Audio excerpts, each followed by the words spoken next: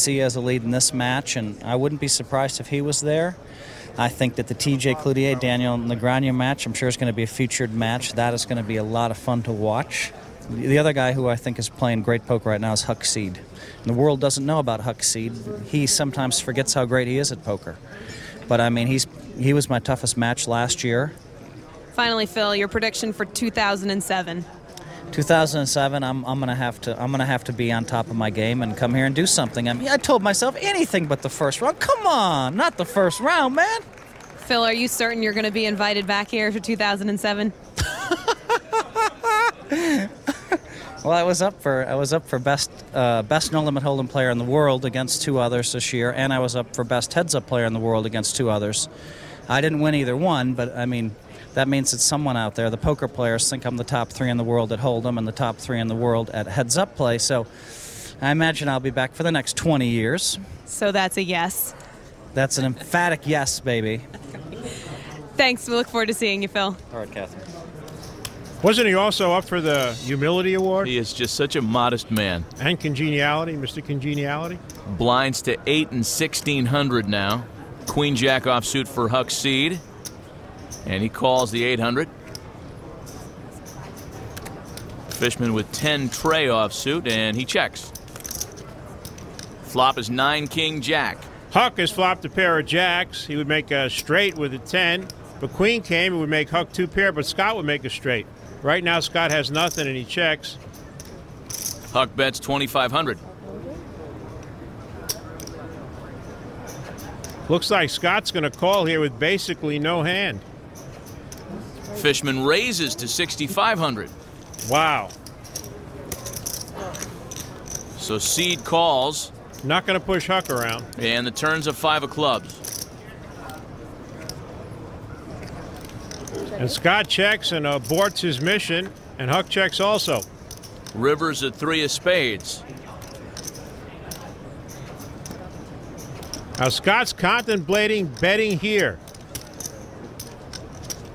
And it would be a great bet because it would be like he checked on 4th Street to try and induce a bet from Huck. And Huck, that's what Huck thinks. Huck threw his hand away immediately. Great bet from Scott. Great play. This is going to be a fascinating match. More from Vegas right after this.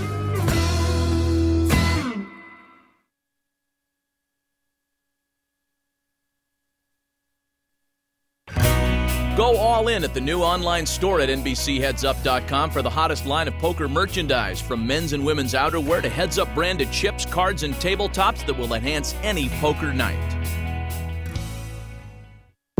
And welcome back to the National Heads Up Poker Championship from Caesars Palace in Las Vegas. Back to round 16 of play and our first look at Amir Vahedi taking on Barry Greenstein facing off in the spades bracket.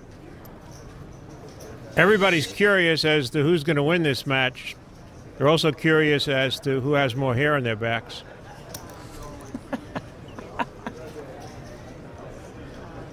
Greenstein with suited Jack Deuce raised to 2,400. Vahedi on 5-4 calls. I'm betting on Barry. What do you think?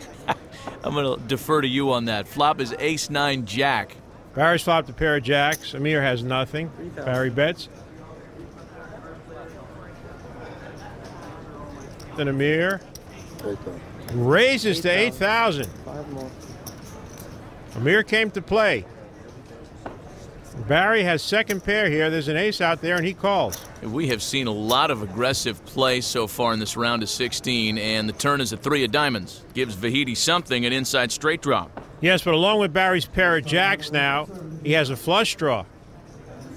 Vahedi checked. And Barry's not slowing down. He bets 10,000.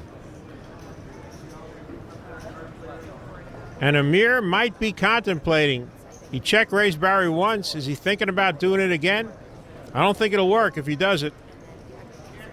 Well, Vahedi took a shot before the turn, but not this time. He folds his hand. Barry Greenstein takes down the pot. Well, clearly in single elimination, every hand is important, but Amir Vahedi's experience has given him a unique perspective on playing cards.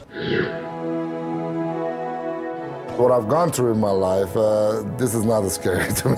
this is fun. Okay, you get in there, you want to make some money, but uh, no, I've gone through much worse and much more serious situations. Uh, I'm, I'm, from Iran. Uh, uh, when I turned uh, 17 and a half, I guess, I went to college, and then the revolution took place, as you know. I went to army for 19 months in the Iran-Iraq War.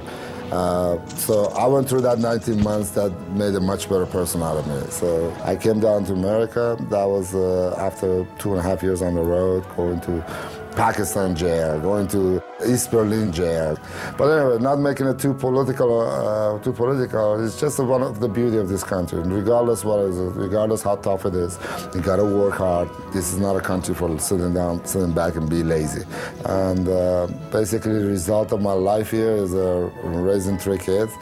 Uh, two of them are in college. One of them is going to college this year and I'm so proud of them. Uh, there you go. I mean, every time I feel bad, I look at it. Uh, I look at them. It makes me feel good and keep me going. That's what it is. And it is back to work for Amir Vahedi in this match, and he's got his work cut out for him as Barry Greenstein has nearly a 3 to 2 chip advantage over him here in this round of 16 match. And Barry Greenstein is very tough to play against when he has a lead. Not to mention Greenstein is a returnee to the round of 16. Ace Jack for Vahedi here, and he calls. He's slow playing his Ace Jack, and look at this. Barry's got Ace Queen of clubs. Amir could get in trouble in this hand. He was hoping Barry would raise. It looks like he's going to raise Barry back. Vahedi raises it up to 7,500 here. Now remember, Barry's got the lead in this match and he's got a real quality hand. I wouldn't be surprised if he goes all in here. All in. All in indeed. Okay. And Amir was not expecting this. I wanted to get a little bit more TV exposure out of this, but you pushed me into this. I ain't gonna sit down and take it from you. Amir called instantly. He did not think Barry had that strong of a hand. He was putting Barry on a small pair, like eights, sevens. There are three jacks out there. Somewhere in that neighborhood. He realizes he's in very bad shape. What do they say? I'd much rather give bad beat than I receive a bad beat. it's much better position to be in. Very aware of his own fate here, too. Hey. Gonna need a jack. Flop comes King Trey King. Uh, a lot of splits available. Well, on this street, the only split would be a three. That would be a split. Amir could take the lead with a jack. Turns a six of spades, and now there are more splits. Right, Amir can split now with a three or a six, and he could still win this hand with a jack. Anything else, and Amir Vahedi is eliminated. Three of hearts and a split for Amir Vahedi. Wow. It could be worse. Yeah, it could have been worse. Oh He should have been packing up to go home, and Barry Greenstein knows it. Nice catch. Finally, it's the other way around. I'm getting lucky. Amir Vahedi ain't going anywhere. Celebrating like they're allowing cigar smoke back in poker rooms.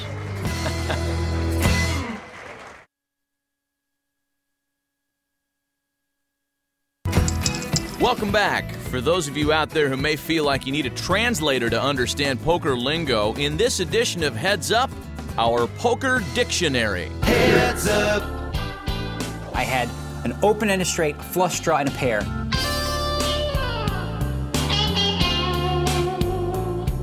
For those out there that don't get what that means, that's like the World's Fair. I was ready to call them all the way down.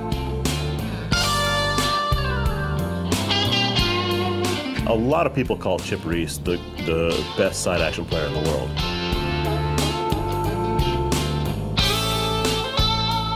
I moved it in and shut him down.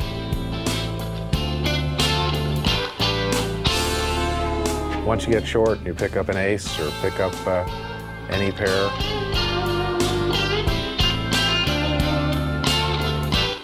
Heads up. One time I was short stacked with syrup on the side. I knocked over my half cap with an open ended mocha. Everybody left the table. I went all in.